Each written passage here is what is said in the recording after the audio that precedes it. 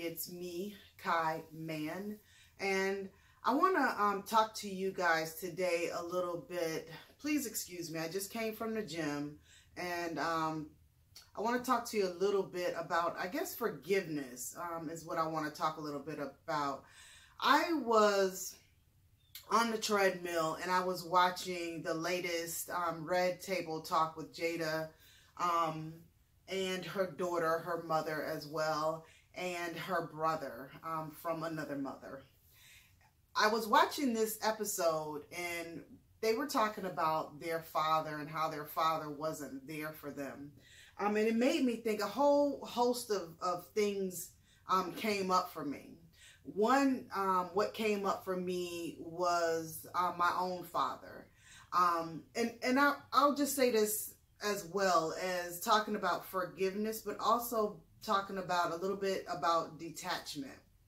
And so um, I'm going to talk about those two things for the reason being of I believe that once I forgave my father, that I kind of detached not just from the situation at hand, but also, you know, from him.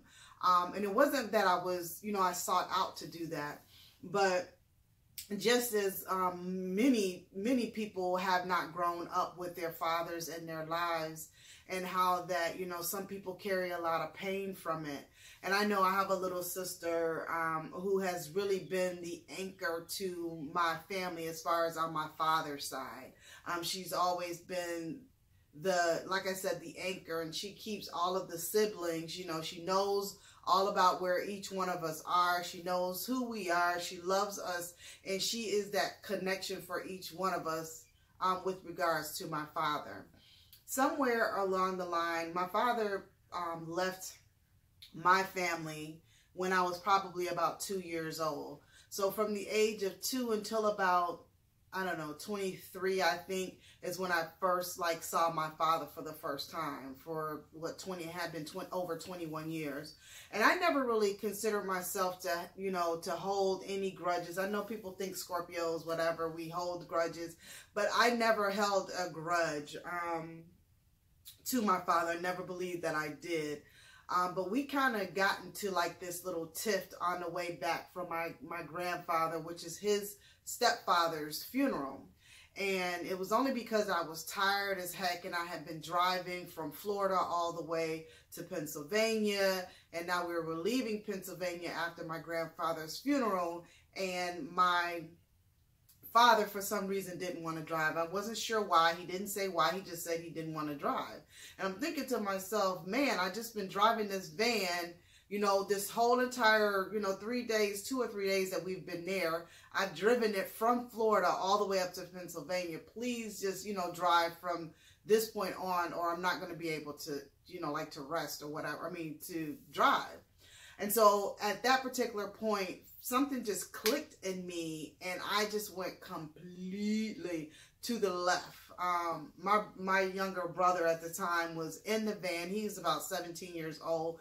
He was sitting at the in the back seat and he was laughing. I didn't even hear him, but he was underneath the seat. He was laughing in a sense. But he told me later a lot of the things that I had said were things that he had wanted to say to my father. And I just I just went off. Like I really, I guess everything that I had ever maybe felt that did not allow myself to feel those feelings so that I could, you know, continue to move on and do my day. And here's where detachment for me comes in. I'm, I'm always able to detach away from feelings that are not, um, not that, that kind of hold you back or kind of keep you stuck in one particular area. And so I'm able, I've always been all of my life. And I don't know if it was because such at a young age, at the age of two, that, you know, I got that detachment from my father and it kind of, you know, led the the story for the rest of my life maybe or maybe does have something to do with you know who the makeup and character of who I am and that that experience had nothing to do with it it was just maybe a test or or something that an experience that you know allowed me to at least know who it is that I you know who it is that I am and where it is that I've come from um but when I was watching the Red Table Talk and to hear them talk about forgiveness, and now their father was on drugs, and, and so there was a lot of different um, reasons as to why you know he could not be in their lives. Of course, he you know on drugs. We think I think about this a lot only because I too, in some instance, had to leave my children with their father. It wasn't that I never saw them ever again. You know, holidays and um, summers and things like that, we spent time together always. But um, the same could be said of me. Like, how could you, you know, leave your kids with their father? Well, the one thing that is is important that a lot of people don't realize is that we hold parents we hold people to such an esteem and we expect them to do you know a certain certain thing. We expect them to be mothers and whatever the mothering looks like that you believe it looks like, you hold them to that that particular position. Well, not everyone um, mothers in the way that you do. Not every mother um, is supposed to be there 24 7, you know, um, at arm's length. Um, certain certain things happen. And so I believe that when I thought about this, the same, maybe the same underlying um, feelings that I had for my dad and him maybe leaving and not really acknowledging those feelings or not really. I just thought, well, you know, I forgive him for, you know, whatever, let's move on. Um, and that was the case. But in the instant of, and I was 23 years old, and that was like almost 26 years, you know, ago 26 27 years ago because i'm much older now but as i look at those particular situations i realize that you know even at that time where i thought that i was not carrying or harboring anything that i, I must have you know even though i didn't talk about it even though you know i wasn't displaying any um what I could see was any um, feelings or emotions or actions or behaviors because of it. I was married and, and I had a really good husband. We just did not click for many different reasons. Um, but in that instance, you know, I had three sons, so I wanted my sons to be raised by their father. And he and I were great friends, so we could still, you know, have those interactions where we could, you know, come together and for the sake of our children. And so when I think about, you know, forgiveness, what does it really look like? You know, um, we talked, they talked about forgiveness and they talked about how um, maturity had to be involved. And I think that is so true. I think that is above and beyond the most, you know, truest statement that they could have said because you have to be mature enough in order to forgive someone. Now, at this particular moment, I'm, you know, 50 years old and I'm looking at the situation with my father. I don't really have a connection with him. And in my mind, I've been thinking, you know, of ways that I could, you know, connect with him, of course, call him. and every time I think to call him, I haven't been able to. It's either like in the middle of the night or it's like way early in the morning, too early to be calling people. Um, and so I think about you have to really make that effort. You have to make that effort because there will be one day that either you won't be here or he won't be here. And so you still have to make that connection within the two. Um, I don't hold anything because he was a man. I never asked him, well, why weren't you there? Because um, it really, to me, is in this the grand scope of things, really isn't isn't important. Him um, being with my mother and bringing me into life was important. Um, I had to be here for whatever reason. And we never really look at those things. And, and Jada and her brother, when they were talking about that, this is how I felt for a long time. I've never called my father like, and I won't say never, I might have um, called him my sperm donor, but I believe, you know, as a as a higher evolved person, I believe that people's purposes are to eat to bring us into life or to carry us to a certain extent. And maybe his extent was not to be in my life for all of these this all of these many years. And I know a lot of people will look at this and say, "Well, that's not true. He was your father. He should have been there." Well, no, um actually it might have turned out better or best that he was not in my life, to be honest with you. Um, I don't know how he lived. I don't know how any of, you know, like my little sister really lived with him. Um, I know certain things that have happened, you know, within that that particular that particular um, dynamics that I'm glad that I didn't have to to live through. So when I when I think about certain things, I'm like, you know, I, I'm not fazed or bothered by that. I'm glad that I've got the siblings that I have, the ones that I do know. Um, they're very special to me and I love them. We don't talk as often um, as we should, you know, but a lot of families don't. Now, on my mother's side of family, it's a total, totally different thing. I still don't talk to them as much, but I do, um, we do, I do have a more, um, a closer knit family on that particular side. But when I was watching the show, it really made me think about how people are always expecting other people to be whatever it is that they believe that they need that person to be. And when you do have those expect expectations, those are the, the things that don't allow you to love and to um, understand and to, you know, have empathy for because those particular people who we're trying to force them to be whatever it is that we want them to be have another agenda for their life. They have another purpose for their life. They have another path for their life, whatever that may be. And they have to live that out. And we can't, you know, try and pigeonhole them into what it is that we believe that they should be for us.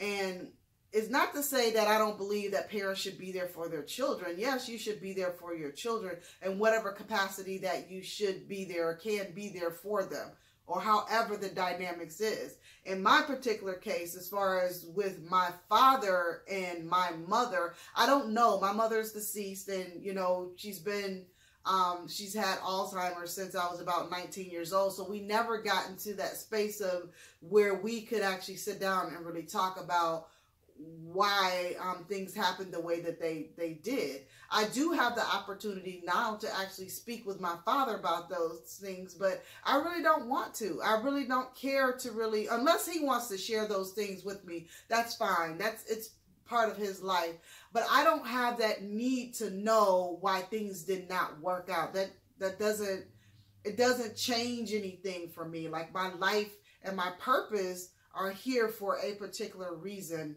And yeah, yeah, it would be cool. Okay, yeah, if you want to sit down and you want to talk to me about, you know, what happened, I'm here, I'm all ears. But it doesn't, if he never mentions it, it's not going to make me feel one way or the other.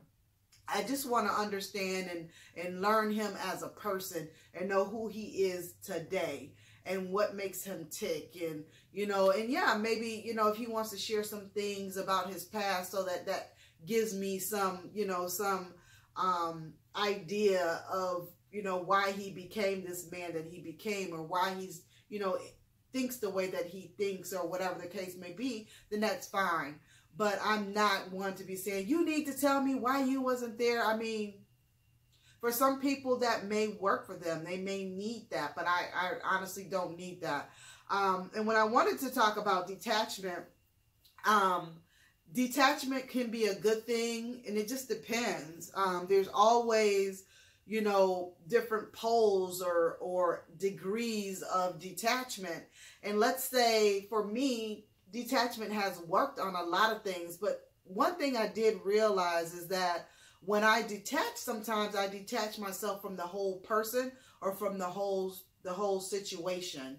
And sometimes, and I just and I just got this like a couple days ago because I detached from a business sense, a business um, venture that I was working on, um, and I decided to no longer to work with you know someone and and I realized that when I when I've gotten to that space in business where I feel like you know the person that I'm working with um, like we're really not a match or we're not a fit you know then I'll go ahead and I'll I'll end I'll end that relationship. But I realized too that in that when I end that business relationship that I also in that relationship with that person. And that's not always good, you know. And I don't mean that I'm like, you know, going off on them and saying, you know, or just not, you know, acknowledging them as a person.